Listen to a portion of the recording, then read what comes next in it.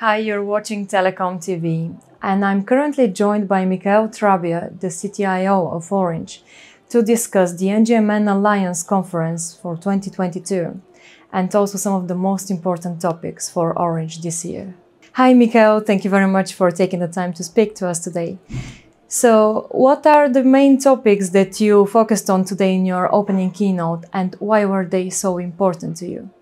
I was very happy to address the NGMN with the energy topic, with the environmental topic, which I believe the telecom industry as a whole has a lot to bring, not only to decrease our own emission, our own CO2 emission, and we do a lot. We have committed to be net zero carbon by 2040 uh, with our direct emission, our network, our IT, uh, but also with uh, what we call our scope 3, our indirect emission, which by the way represent 80% of uh, telecom uh, emission. And this encompasses field intervention, uh, network equipment, customer equipment, and this is a topic where we need to act. And I was happy to address this with the community to explain that the issue is not with is not linked to the traffic.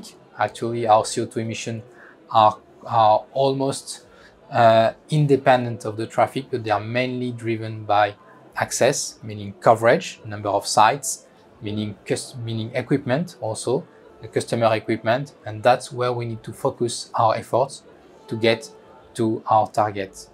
As you are at the heart of Orange's innovation and R&D efforts, what would you say are the most exciting tech developments that can help telecom networks be more energy efficient?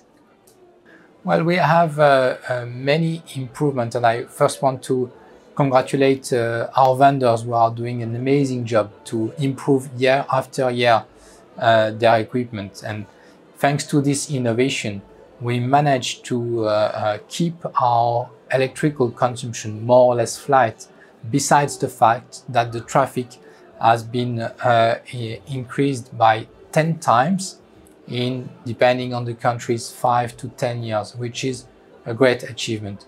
We also have some uh, uh, very big improvement uh, in terms of RAN sharing, even if it's not directly linked to, to, to technology, but it's, it's a big driver and we promote this a lot. And last but not least, in terms of technology, that was your question, we are looking a lot at liquid cooling, uh, which changes the way we uh, uh, operate our servers.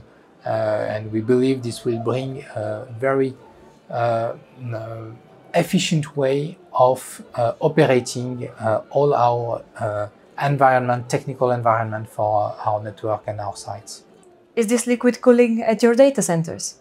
Liquid cooling at our data center, but also uh, with our, uh, you know, we, we have small data centers with our mobile sites or, or small sites that are uh, uh everywhere in, uh, in, in a country in the network. So it's not only the big data center uh, that we could, we could use liquid cooling. You built Pikeo, an experimental 5G standalone network in France about a year ago. And now, NEC and Mavenir just announced a massive MIMO deployment on this network. What have you learned from this experiment so far, and what else have you planned ahead? Yeah, we, we were very happy and excited to build this test network, which is Pikeo, which uh, represents uh, the, the network of the future. The, the way we, we see this network is a cloud-based, is a fully uh, software-based network, 5G SA, uh, automated with on-demand capabilities. And it, it will take a, a lot of efforts to get there. So that's why it was important to build this test network to learn and to help the ecosystem to build uh, uh, these capabilities. We have seen uh, from last year uh, that indeed integration was a key uh, element. And the, the topic that you mentioned, I mean, it's a great achievement, the integration between Mavenir uh, uh, Open RAN uh, software with NEC RRU is, is really a very important step and it shows how much uh, important integration is. We also have learned that security is important, tooling zone are important, and by the way, that also competencies, expertise, and that's what we also need to grow within our telco, but also uh, within the ecosystem. And I, I'm, I see very concretely today uh, this topic moving forward, and we are more and more confident that we are going to be able to deploy and roll out in uh, the years to come uh, such technologies. So, when can we expect this experimental network to actually go live commercially? It's a test network indeed because it's it's a full uh, fledged uh, future network. But we are implementing as of today already part of these technologies in our network.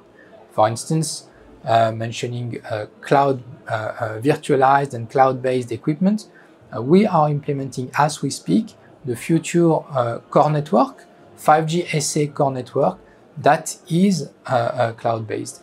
Looking regarding Open RAN technologies, we are preparing for 2023 the introduction of Open RAN within uh, our network. So it will be step by step, uh, and we will introduce as fast as we can uh, the elements and some elements of uh, this uh, uh, future software-based network in our equipment in production. Mr. Trabbia, thank you very much for speaking to Telecom TV today. Thank you.